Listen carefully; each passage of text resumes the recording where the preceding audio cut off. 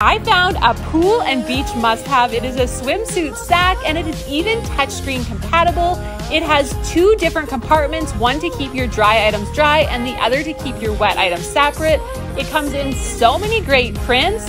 Follow along for more giant tiger finds.